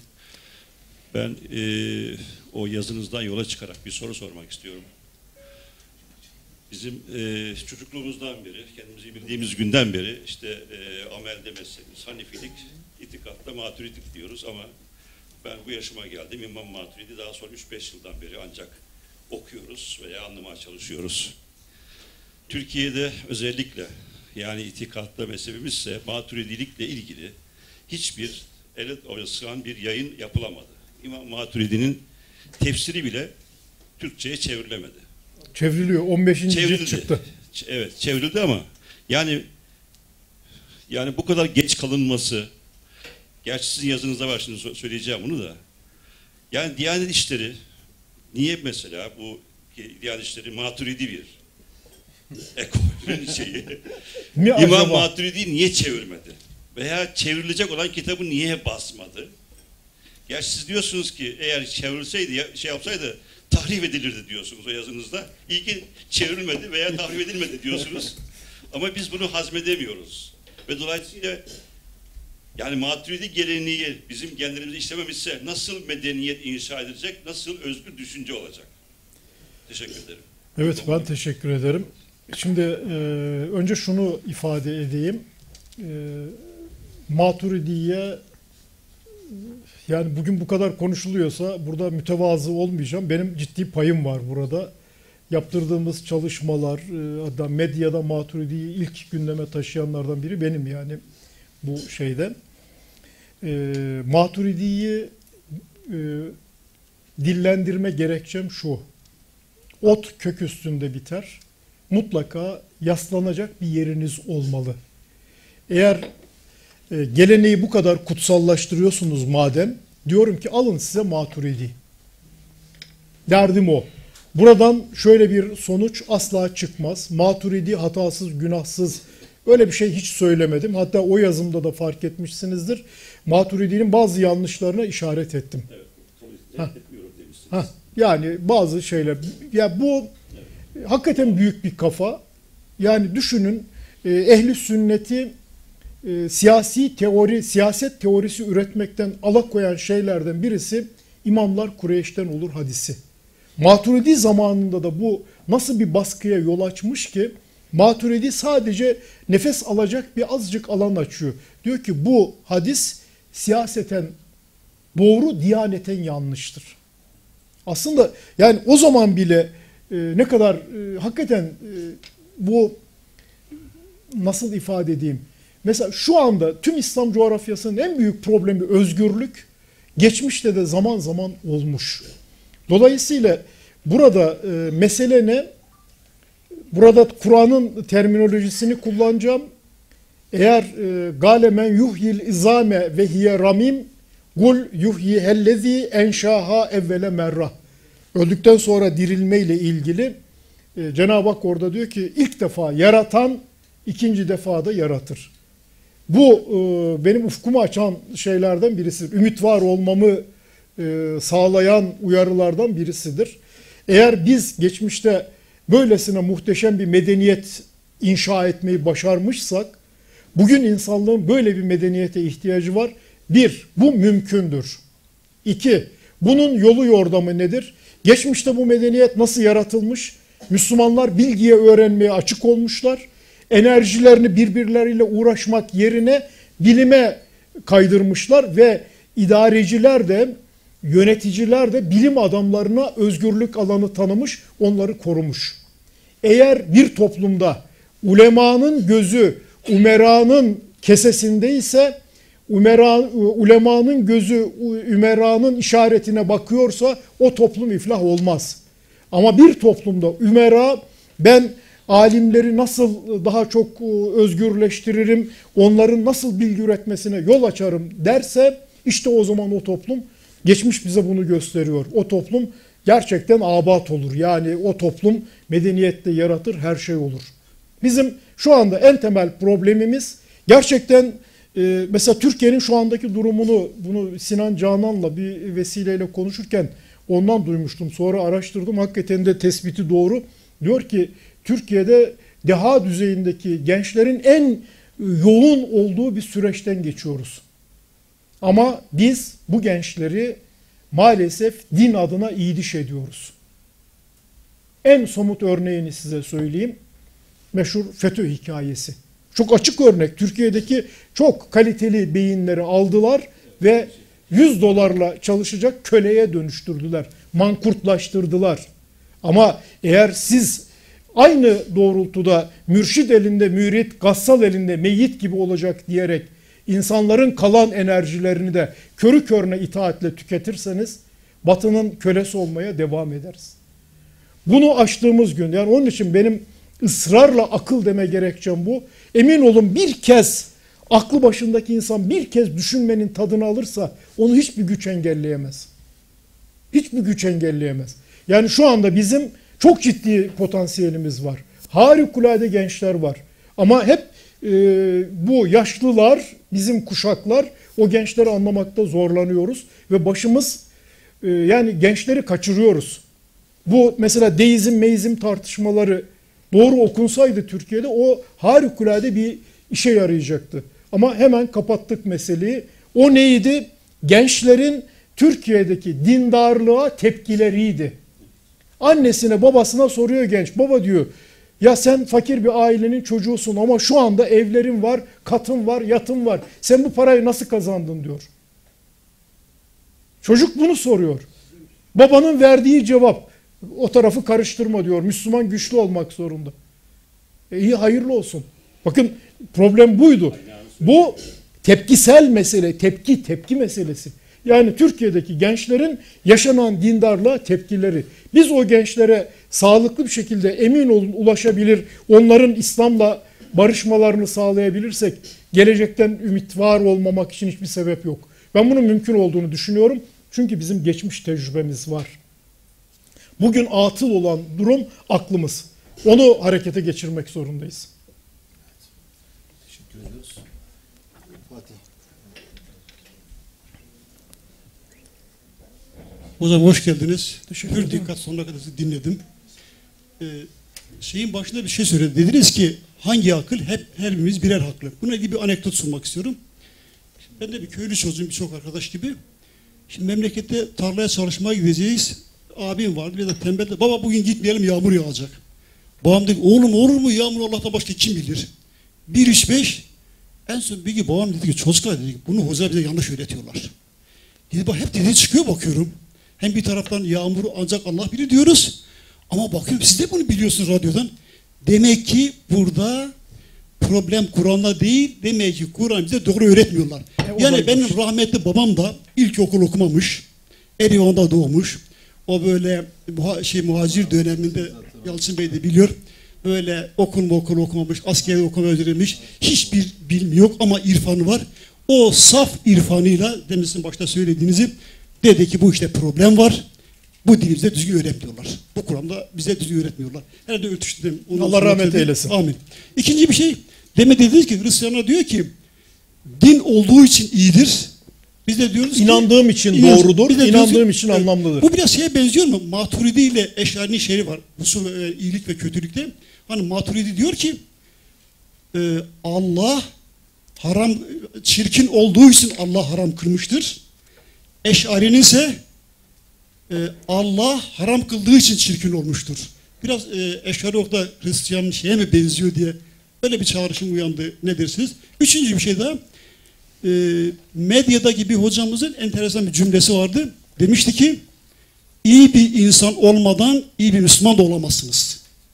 Vallahi de doğru buradan- diyor. Ben de buna hareket ediyorum ki yani iyi bir akıllı olmadan, aklını çalıştırmadan Müslümanı da yapamazsınız. Sunmak istedim. Hayırlı akşamlar diliyorum. Çok teşekkür ediyorum. Gerçekten de yani İslam e, Allah uzun ömür versin. Bizim Hüseyin Atay Hoca'nın ifadesidir bu. İslam diyor iyi insan olma projesidir. E, dolayısıyla e, önce insan, ondan sonra Müslüman. Zaten Müslüman olduğunuz zaman eğer İslam'ı iyi anlarsanız gerçekten iyi insan olursunuz. Yani burada e, İslam insan üzerine yani var olan o insanı o insan olma ile ilgili o altyapının üzerine insanı daha iyi insan yapmak için var olan bir din. O yüzden de mesela eleştirel düşünce var olan bir düşünme biçiminin üzerine yükselir bu bağlamda. E, e, zaten e, insan olamamışsanız Müslüman olup olmamanızın bir anlamı olmuyor ki. Önce insan. Yani İslam da insanı insan yapmak için var. Bu bunu çok önemsiyorum. Diğer taraftan bu hüsn kubuh meselesi e, bunlar çok tartışılan meseleler. Burada e, yani bir mezheplerin birbirinden farklı yorumları olabilir. Ben sadece şunu ifade ede, etmek isterim orada. Yani Eşari'nin düşüncesi Hristiyanlığa mı benziyor? Ee, e, örneği Maturidilik üzerinden vereyim ben size. Ee, İmam Maturidi'ye göre e, taklidi iman e, taklidi imana yer bulamazsınız. Ama daha sonraki Maturidiler taklidi imanı kabul ederler. Taklidi iman ne demek? Aslında tam da söylediğiniz şey işte.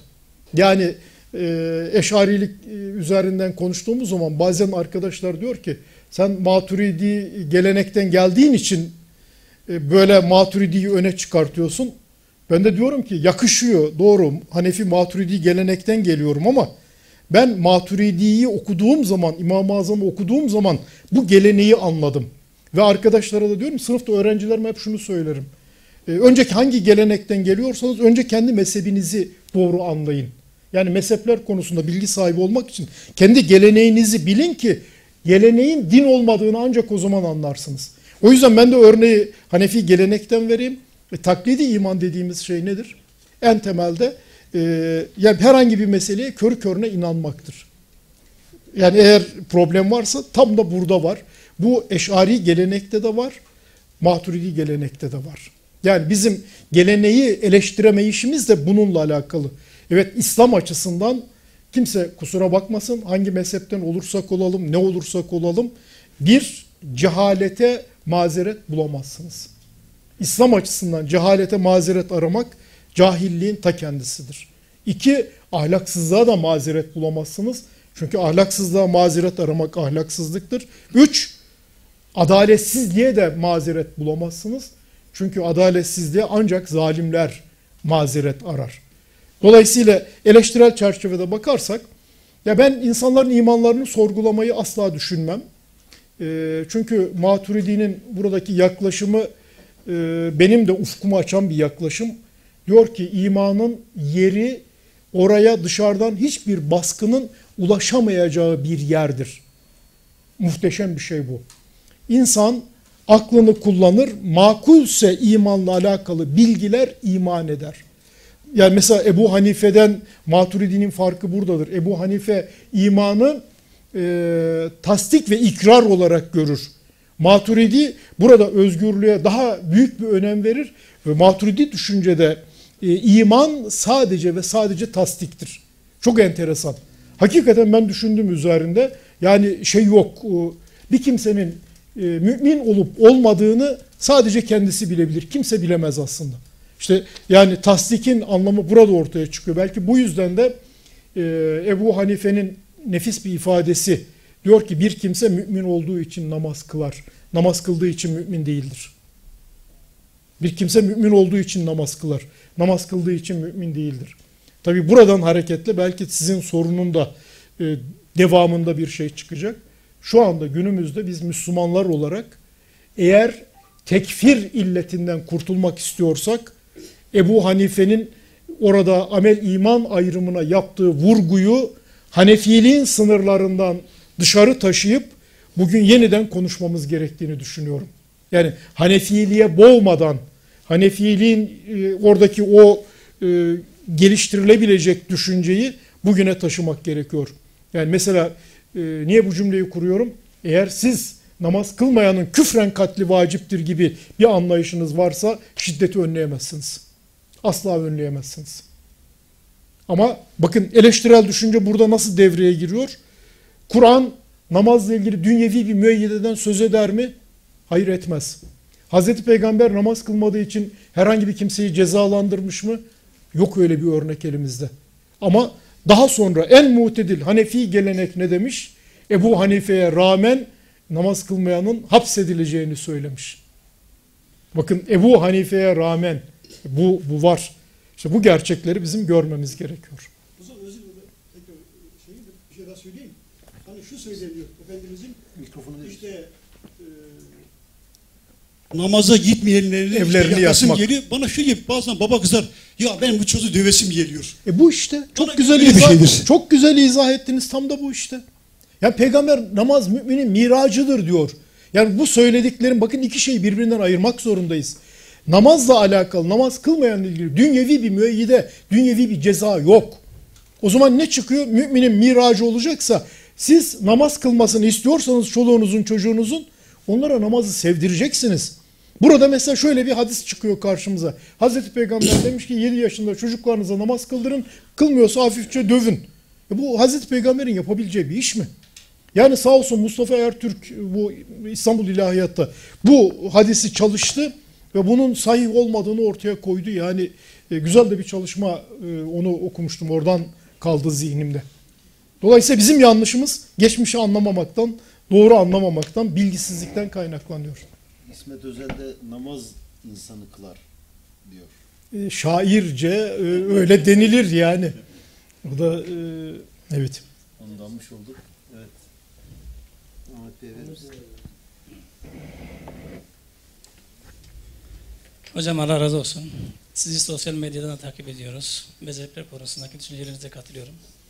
Çok istifade etmeye çalışıyoruz. Allah razı olsun. Estağfurullah teşekkür ederim. Şimdi bu mezhepler konusu tabii ki e, yani çok bilinmesi gereken hakikatleri de içeriyor.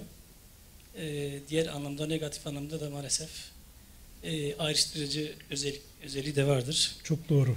Mesela bu Rum suresinin 32. ayetinde e, minellezine ferraku dinehum ve kanu şi'a kullu hizbin bimma ledeyhim ferihun. E, İşte bir, bir, yer- bir yerde daha var. iki yerde geçiyor. Evet yani şimdi bizim bu mezhep imamlarımız Allah razı olsun tabii ki hepsinden gerçekten e, çok iyi niyetle salih bir amele girişmişler. Kendilerince çok büyük bir amel, salih amel olarak bir şeyler ortaya çıkarmışlar. Doğru. Fakat sonradan e, çıkan ümmet bunları maalesef dinleştirmiş. Yani işte mezhepsiz. Mesela e, Kur'an-ı Kerim'de buna yönelik mesela, e, herhangi bir işaret bile olmazken biz mezhepleri din olarak kabul eder duruma geldik. E, şöyle bir sorum olacak. Mezhep imamlarının işte itikatta mezhebi, amelde mezhebi var mıydı? Yani biz bu itikat meselesi Allah'ın aslında dininin Allah'a has kılmak olgusu değil midir? Ee, Yani çok tabii ki e, günümüzde sizin söylediğiniz gibi gerçekten her konuda baskı var Müslümanlara karşı. Kendi içimizde de birbirimize karşı empati kurmuyoruz, anlayışsız davranıyoruz. En basitinden aklınıza yatmayan e, Peygamber Efendimiz'e atfedilen çok uydurma şeyler var. Onları bile insan söylemekte kendi imtina ediyor. Çünkü ya hadis düşmanı ya da sünnet düşmanı olarak telakki ediliyor. E, bu durum maalesef insanımızın dini anlama ve algılama konusunda e, kendini geliştirememesine sebebiyet veriyor. Mesela biz e, Müslüman bir ülkeyiz hamdolsun. Fakat Kur'an-ı Kerim e, Allah'ın kelamı olmasına rağmen en az anladığımız kitap haline gelmiş bulunmakta. Doğru. Yani en çok okunan fakat en az anlaşılan kitap olmuş. Mehcur. Mehcur evet e, bu ayet-i kerimede geçiyor. Peygamber Efendimizin e, ümmetini şikayet edeceği tek ayet olarak. E, bu bağlamda tabii ki sizin gibi e, kafalara gerçekten çok ihtiyaç var. E, inşallah Allah sayılarını arttırsın diyelim. Sizin de hizmetlerinize Allah bereket kalsın. E, soru şöyle, yani mezhep imamlarının itikatta ve amelde şeyleri var mıydı? Hani Evet. bizde olduğu gibi onların mezhepleri var mıydı? İtikatta ve amelde. İtikat kelimesini kullanmamız tehlikeli değil midir?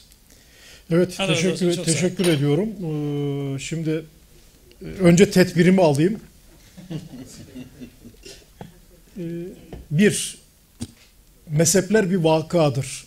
Vardır. Yani e, taraf da olsanız, karşı da olsanız mezhep diye bir vaka vardır. Sorun mezheplerden değil. Sorun mezheplerin din gibi telakki edilmesinden ve bu alandaki bilgi boşluğundan kaynaklanmaktadır. İki, e, fıkıh mezheplere yer bulmak mümkün. Çünkü düşünce ekolleridir onlar. E, yani bu yer bulmanın ötesinde gerçekten ya İmam-ı Azam e, işte öğrencileri var, görüşleri var. E, onun düşünceleri sonra Ebu Yusuf, İmam Muhammed tarafından geliştiriliyor. Sonra Mutezile'nin Hanefi çizgide olması büyük bir e, darbe Hanefiliğe.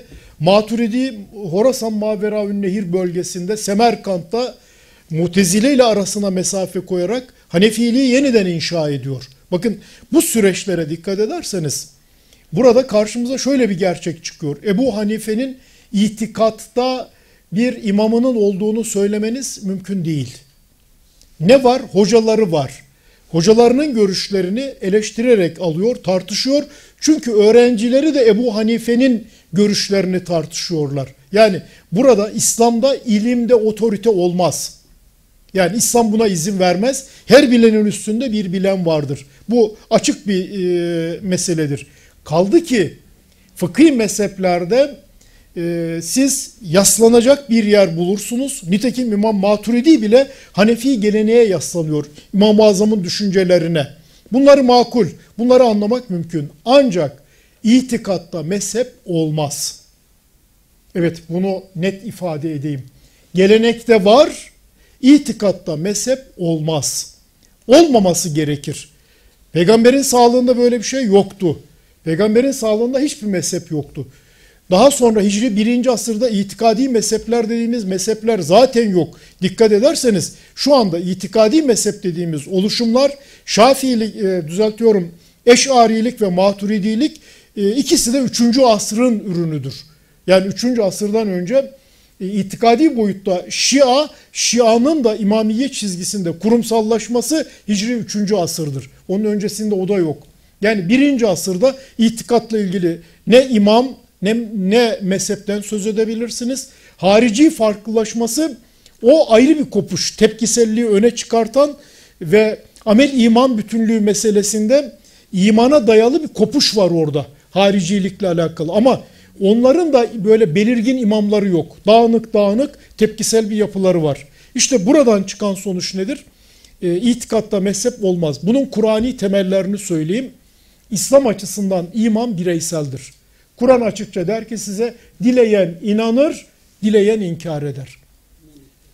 Sorumluluk da bireyseldir. Ve la tezrü vaziratun vizra uhra. Kimse kimsenin günahını çekmez. Dolayısıyla burada iman doğrudan kim olursa olsun Cenab-ı Hak'la birey arasındaki bir meseledir. İslam o araya peygamberin bile girmesine izin vermez. Kastettiğim nedir? Çünkü doğrudan iman Allah'la insan arasındadır. Peygamber imanda aracı değildir. Peygamberin burada bize kazandırdığı nedir? Cenab-ı Hakk'ın evrensel mesajını insanlara ulaştırmaktır. Yani e, bu mesele çok farklı. İşte burada iman dediğiniz şeye dikkat edin. Tevhid, ahiret, nübüvvet. Nübüvvette biz neye inanıyoruz? Bir peygamberlik geleneği var. Hz. Muhammed'in son peygamber olarak e, Cebrail vasıtasıyla Cenab-ı Hak'tan getirdiği kitaba iman ediyoruz. Yani Kur'an'ın Allah kelamı olduğuna. Bu nübüvvetin bir cüzüdür. Şimdi buradan baktığınızda tevhid, ahiret ve nübüvvet hiç kimsenin, hiç kimseye dikte edebileceği bir şey değildir. Bu iman esasları açıkça Kur'an'da yer almıştır ve akılla temellendirilebilecek esaslardır. Cenab-ı Hak da Kur'an'daki ahiret inancı dahil bu esasları akıl üzerinden anlaşılır kılmıştır. Dolayısıyla buradaki bireysellik imanın yapısı bilgi temelli olması iman konusunda bel tek belirleyicinin Cenab-ı Hak olması çünkü Hazreti Peygamber yeni bir iman esası getirmemiştir. Cenab-ı Hak ona öyle bir yetki de vermiyor. Dolayısıyla bu meselelere baktığınızda mesele net anlaşılıyor. Ama gelenek o kadar ağır ki mesela Mehdilik meselesi işte çıkıyor karşınıza. Eğer Mehdi arıyorsanız sadece Kur'an'dır. Kur'an'ın olduğu yerde başka Mehdi olmaz. Ama böyle bir gelenek üretmiş ve iman meselesi gibi çıkıyor karşınıza. Mehdi'ye inanmak imanla irtibatlandırılıyor ki bu İslam'a yapılabilecek bence e, ciddi bühtanlardan birisidir. Dolayısıyla konu zor.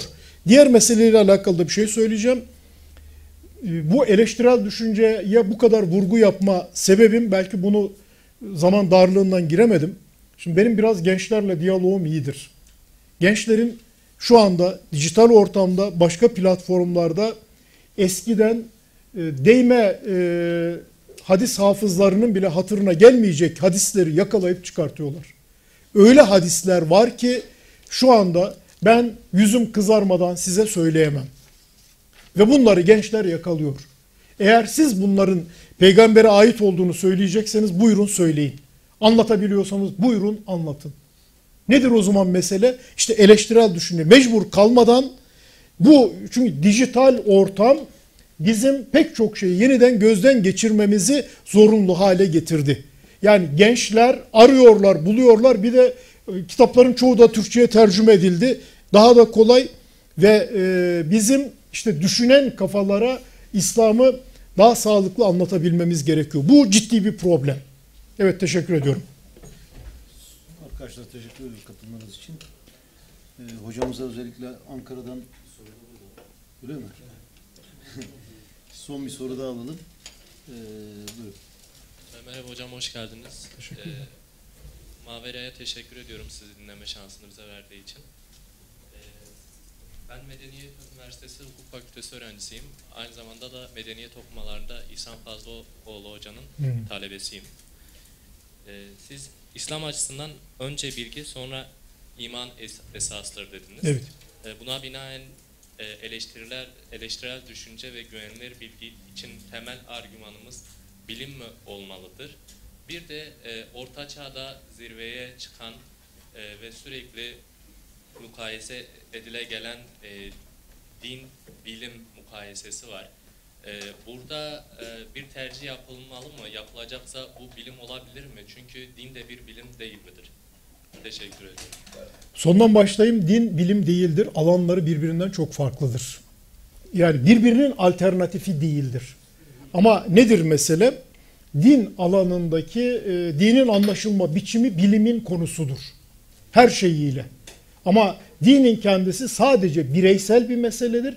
Bireyi ilgilendirir. Birey ihtiyacı kadar o konuyu bilmek zorundadır. Yani dinin kendisi e, kendi haliyle sadece bireyin e, oradaki bilgi boyutu onu ilgilendirir. Ne vardır? Şimdi ikinci kısma geçelim. Din bilim çatışması meselesi Müslüman geleneğin bir meselesi değildir. Batı düşüncesinden bize sirayet eden bir hastalıktır. Batıdaki bilimsel gelişmeler kiliseye karşı verilen mücadelenin sonucunda ortaya çıkmıştır. Ve bunun örneklerini siz biliyorsunuz zaten. Mesela bir Galile'den tutun da Bruno pek çok isim ben size sayabilirim. Yani batıdaki akı, akılcı yaklaşım da bilim de tepkiseldir. Tepkiselliğin özünde kiliseye karşı, dine karşı verilen bir özgürlük mücadelesi vardır. Oysa İslam en baştan itibaren e, bilimi teşvik eden bir duruş sergilemiştir. Yani burada Müslüman gelenekte zaman zaman e, yani özgürlükle ilgili sıkıntıların olduğu dönemde o da mevzi olarak bu benzer şeyler olmuştur. Fakat Müslüman geleneği bir bütün olarak alırsanız son iki asra kadar Müslüman gelenekte görüş ayrılıkları vardır ama ciddi bilim, din bilim çatışması diyebileceğiniz bir çatışma olmamıştır. Buradaki yani gelenekte lokal olanlar vardır. O zaman bizi ilgilendiren mesele ne? Geleneği doğru okursanız Müslüman gelenekte bir din ilmi, dünya ilmi, din ilmi e, ne bileyim başka ilim farkının olmadığını görürsünüz. Yani tefsir nedir? Kur'an'ın yorumudur. Ee, onların bilimle ilgili değerini tartışmayacağım. Sadece şunu söyleyeceğim. Ee, tefsir, hadis, e, İslam hukuku, fıkıh ne kadar bilimse e, tıp, astronomi, matematikte en az onun kadar bilimdir Müslüman gelenek bağlamında. Sözümün kanıtı nedir? Alimlere dikkat edin. İbn Sina hafızdır. İbn Sina hekimdir. İbn Sina filozoftur. İbn Sina din alimidir. Hepsi birliktedir. Çünkü İslam dualiteyi kabul etmez. Müslümansanız kilisede de Müslümansınız, camide de Müslümansınız, sokakta da Müslümansınız. Yani öyle zihninizin bir kısmını bilime, e, bir kısmını dine ayıramazsınız e, İslam'da bu bağlamda. Dolayısıyla İslam'ın akılla örtüşmesi de e, normal koşullarda üretilen birikimin dinin kendisinin bilimle bir derdinin olmadığını ortaya koyar. Ama lütfen unutmayın. Bir, tekrar edeceğim. iman bireysel olduğu için din de özü itibariyle bireyseldir. İki, din e, düşünmeyi teşvik eder İslam dini, bilimi teşvik eder, bilimden bir korkusu yoktur. Üç, bilim dediğiniz hadise en nihai aşamada görecelidir. En nihai aşamada. Ve bilimde kesinlik Batı düşüncesinin, Batı biliminin bir yanılsamasıdır. Bir, bu pozitivizm olarak ortaya çıkar. Bugün kuantum ve diğer e, gelişmeler artık e, insanın olduğu yerde kesinlikten söz etmenin mümkün olmayacağını da ortaya koydu. Hatta Popper'ın bir, bir sözü var benim çok hoşuma gider. Diyor ki e, kesinlik takıntısı çocukluk çağına takılıp kalan insanların işidir. Bu minvalde bir şey söylüyor. Yani ey bilim diyor senin de ne olduğunu biliyorum ama senden başka da güvenilecek başka bir şey yok diyor. Kesinlikle alakalı. Gerçekten de ben de aynen Popper gibi düşünüyorum orada. Müslümanlar olarak da tek çıkış yolumuzun bu yüzden bilim olduğunu ama bilimin ne olduğunu bilerek yürümemiz gerektiğini düşünüyorum. Evet. Son bir soru. Vaktimiz çok az kaldı. Kısa olsun bize ama. Bir saniye şey geliyor. Mikrofon geliyor. Mikrofon geliyor. Şeye dikkat çekmek istiyorum. Sizleri tenzih ediyorum. Özellikle günümüzde ve batıda akıl ve bilim haddinden fazla ehemmiyet verilerek putlaştırıldığı zaman insanı da aynı şekilde hüsrana götürülüyor. Bir de bizim nesilde var.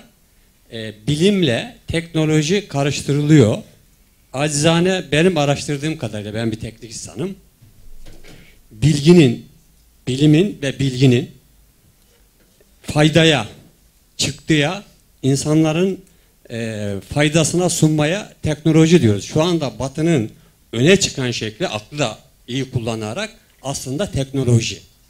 elbette ki bilim de var. Beşeri e, bilimlerden bahsediyoruz. Ama onun da çok putlaştırılması bütün dünyayı kan gölü haline getiriyor ve adaletsizlik haline getiriyor. O zaman o teknolojiyi siz üretseniz ne olur? Kesinlikle. Ha işte bu işte. Benim de söylemek istediğim tam da bu. Yani Batı bilim anlayışı problemli. Siz İslam geleneğinden yararlanarak yeni bir bilim paradigması inşa edebilirsiniz ve daha insani bir teknoloji üretebilirsiniz. Benim de iddiam bu işte. Teşekkür ediyoruz hocamıza katılımları için. hocam çok güzel anlatmışsınız. Teşekkür ederim. Ama mutlu oldum yani onu okumuş olmanız. Hocamızı daha yakından takip edeceğiz. Bir plaket takdimimiz olacak hocam. Teşekkür ediyoruz tekrar.